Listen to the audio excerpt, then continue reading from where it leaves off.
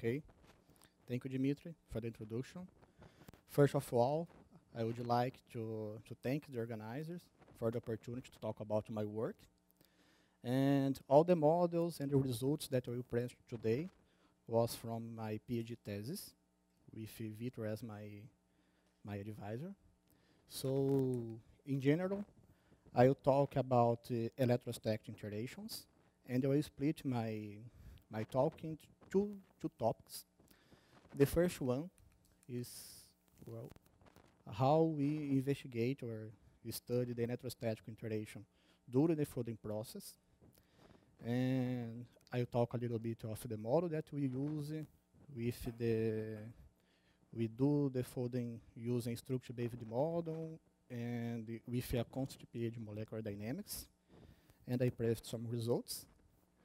And the second part, I will talk about the contribution to electrostatic interaction to stabilize the protein native state. I'll talk about the model that we use based on Tom Ford Kirkwood and also present some results about that. And talk in general about uh, electrostatic interactions is one of the, the, fundamental interaction of the nature. So particular talk in in biological system, in proteins, which are our interest, it's, it is related to the protein structure, is related to the stability of my protein, the function, bind sites, the cognition, and how the charges interact with each other, and how we measure this electrostatic interaction depends of the salt concentration of our environment, the charge distribution of our proteins, and the pH condition. So, first, talk about the protein fold. We use the, the structure-based model plus uh, the bi-Hückel potential to take into account the electrostatic interaction. We perform a constant pH molecular dynamics, and I show some results from the, these three, three systems, N-threonine protein, protein G, and the coat shock.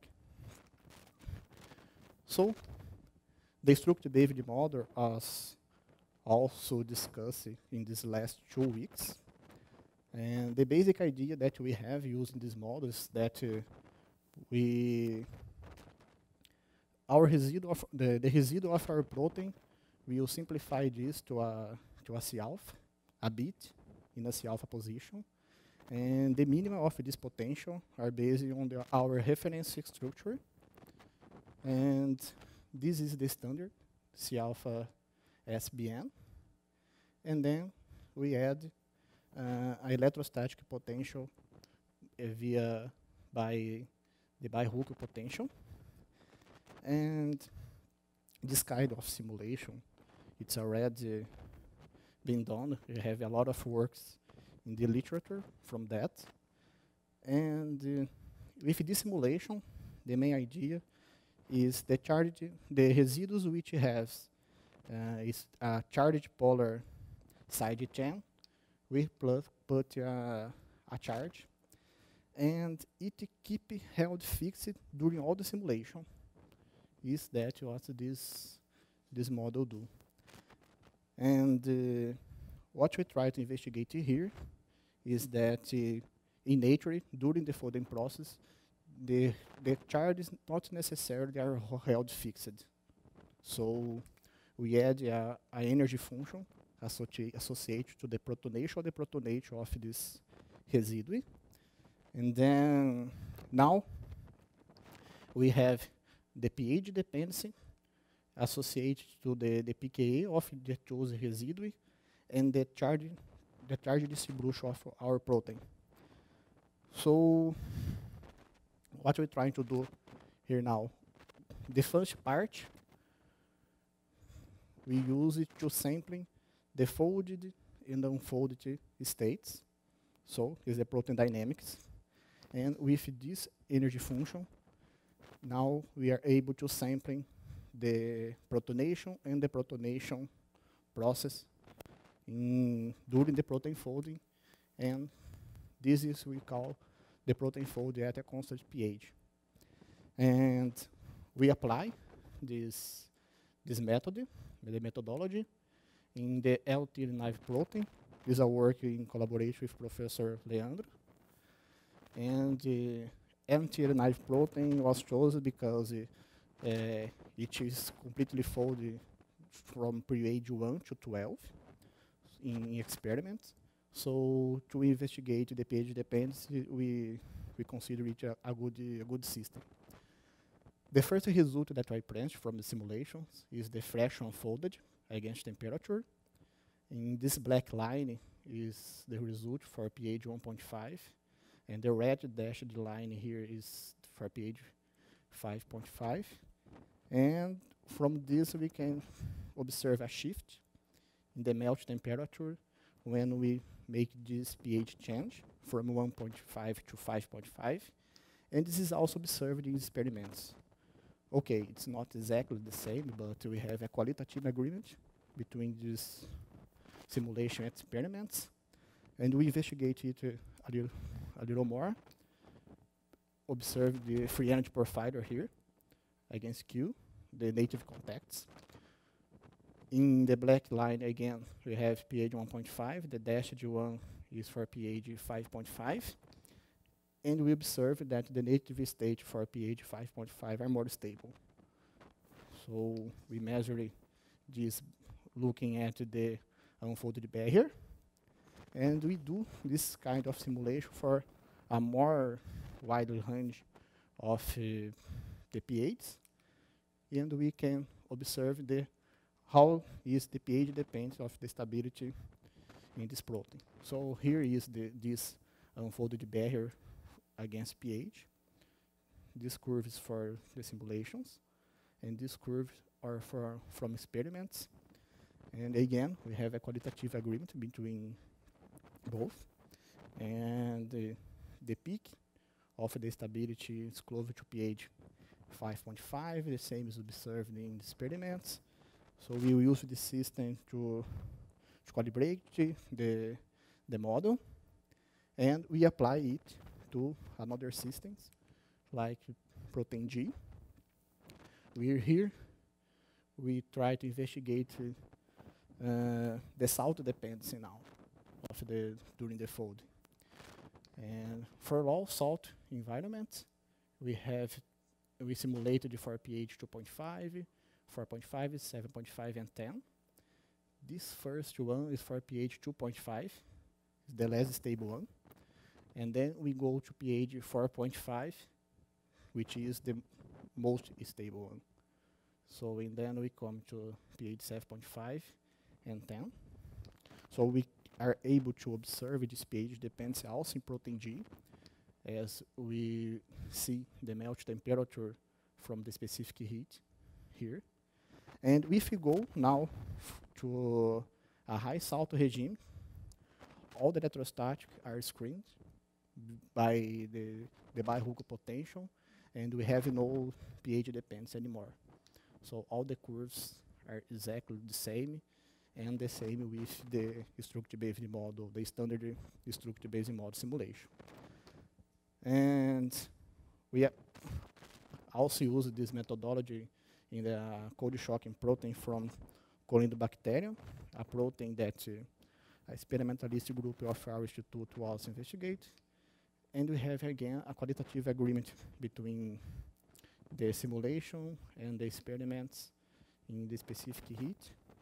I'm not showing all the details about this study, but they want to observe which residues have the the the major charge variation, and we identify uh, a histidine, a, a glutamic acid, and uh,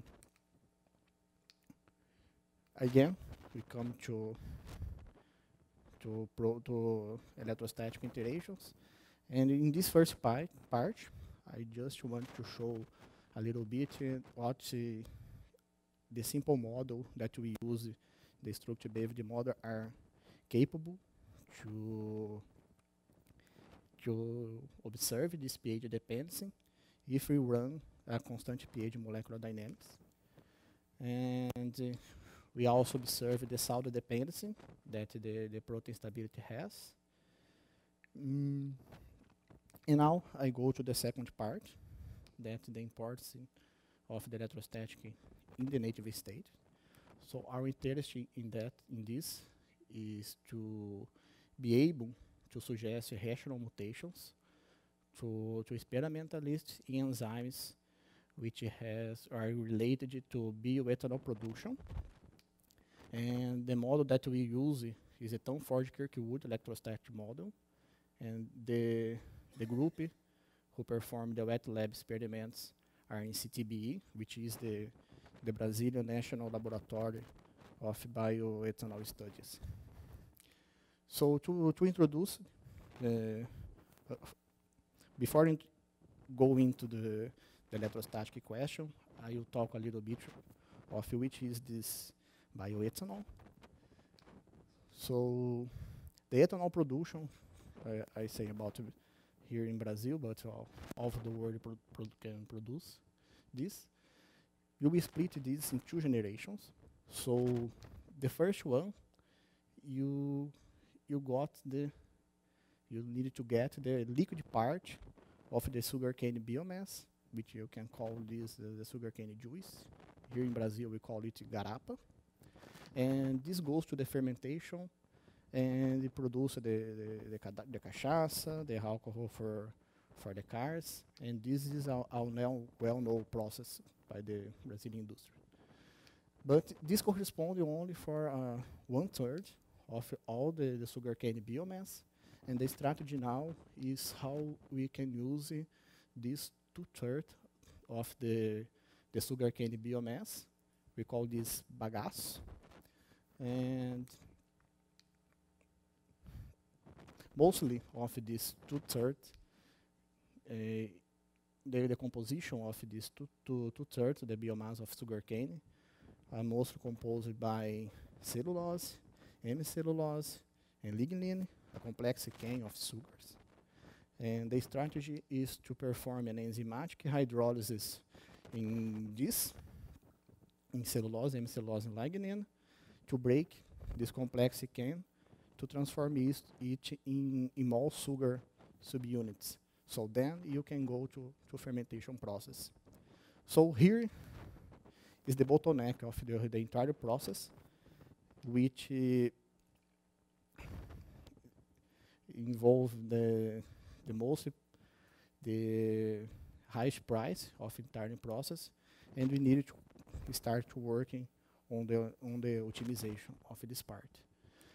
So optimiza opti optimization of uh, enzymes became the topic of the protein engineering, which we wanted to change the optimum active condition of our enzymes to work in the Erector conditions, which is pH 5.5 and temperature 55. And if we talk about uh, change conditions and pH, we're talking about charts. And look at the charts. In proteins, we we choose uh, a more detail, a simple a simple model to to investigate these interactions, which was shown by by Matakazi that if you optimize the electrostatic interactions of your protein by doing some mutations and optimizing that, you lead your protein to a more stable state. So you increase the, ter the thermostability of your protein, optimize, opt optimize the charge-charge interaction. And the, mod the model that uh, he used and we use as, as also is the Tom Ford Kirkwood model, which are protein are approximate to a sphere. In, in the inner, we have a low constant uh, dielectric constant. We have a ion exclusion shell. And we have, again, uh, now a high constant dielectric associated to the solvent. And this is the, the interaction energy of two charts inside this, this sphere, which A and B are related to this, the difference of the, the dielectric constant. C are associated to the solvent and the ionic strength. And this last term are associated with uh, how exposed you are the side chain, side chain of your of your residue. And uh, once we know the the energy interaction of these two charges in my protein, we can now perform suggest some mutations in the charge residues, which will follow this criteria. If the residue contribute a, to destabilize the native state, it has if he, he has positive positive energy values, and he needed to be exposed to solvent. Then we called it a good candidate to be mutated. And follow this, this simple criteria, we tested xylanase enzymes, which is the family of glycohydrolase 11, has 23 cards, and this, it, it is one of the, the enzymes used in the reactor. And the results are quite simple. And what we have, it's this graph bar with the each bar corresponds to the energy of each residue. And I point you highlighted in red here, the residues which follow our, our criteria. So it has positive energy and they are exposed to solvent. The first one that I pick is the lysine 99, which has the energy 0.74 and they are exposed to, to solvent uh, if the side chain like is 75%. And uh, this is the, the first candidate that we have to, to perform a mutation. And the mutation that we suggest is you remove this lysine 99 and insert uh, a glutamic acid.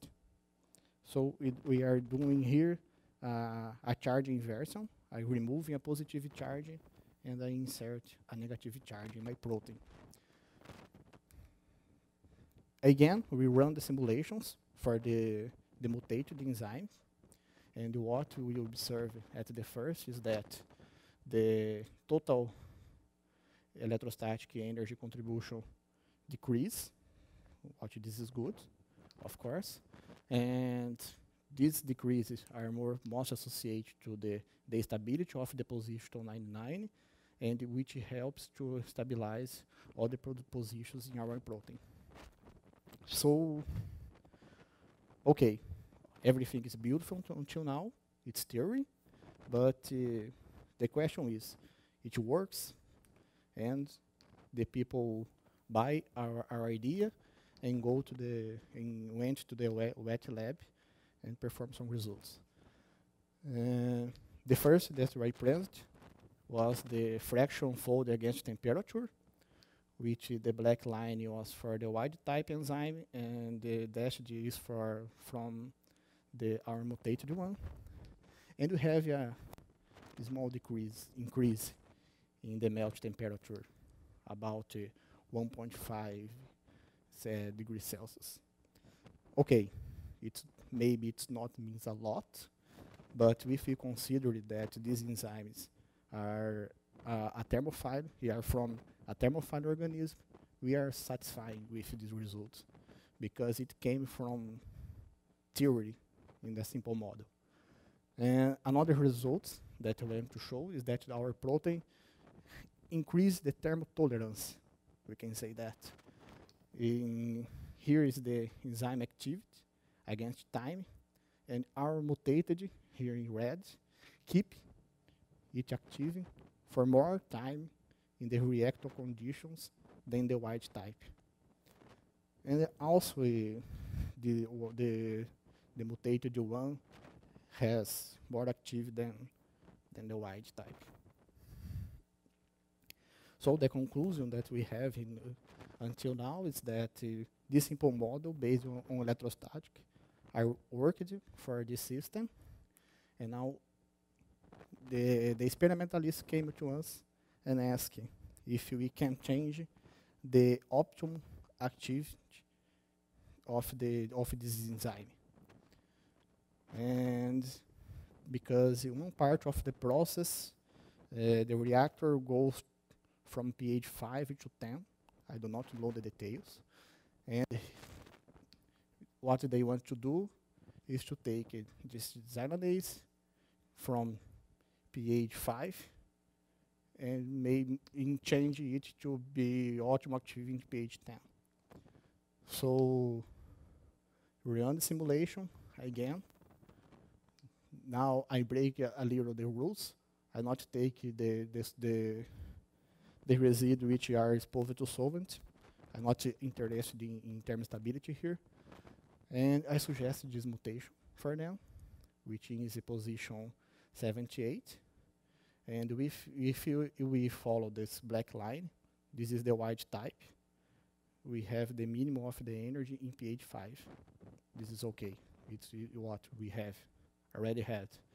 And if, if we do a mutation here, the optimum energy are close to pH 10, the pH that they want.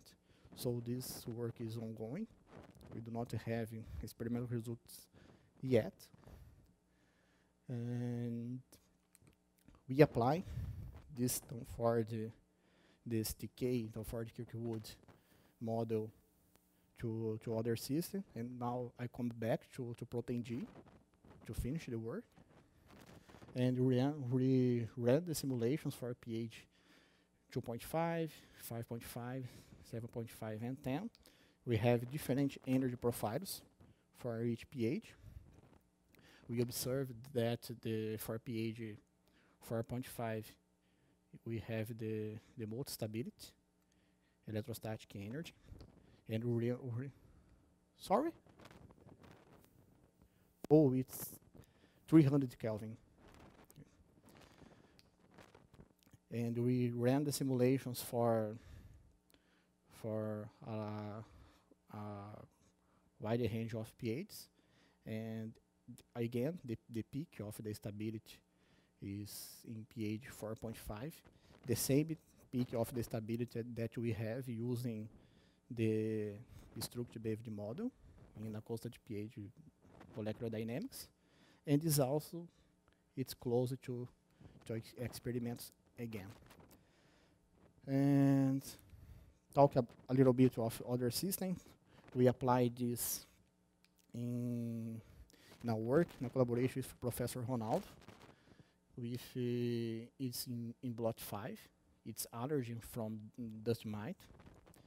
And uh, what we, we observe here, we take the electrostatic energy in the epitope and uh, suggest some mutations which stabilize that region. And the people they did the clinical trials and observed that with this this antigen, the the people uh, do not respond to allergy. So they resu they resu reduced the the allergy in the patient with this one. And using the results from the literature, if we plot, if we neutralize one week of discharge, we also observed a reduction in the in the pacing, the patient allergy. So we made available this tool, which is very fast. It's for a, a big protein. It's ran in almost one minute, and we'll have the only input that you need to to, to insert is your PDB, and you run for your your your pH, and the temperature you can is also input, and the output that you you have will be will be the energy per residue, a, a graph like like that, so the energy for each residue, the total energy as a function of the pH, which is this graphic here, and in red the candidate for uh, a mutation, which is the residue if the positive energy values, which are exposed to solvent. So that's it. And I would, uh, I would, would like to, to acknowledge the Professor Victor and how this is the the group. Uh, I would al also would like to, to thank the, the collaborators, Professor Leandro, Professor Professor Ronaldo, and the institutions and FAPESP for my scholarship. That is it. Thank you.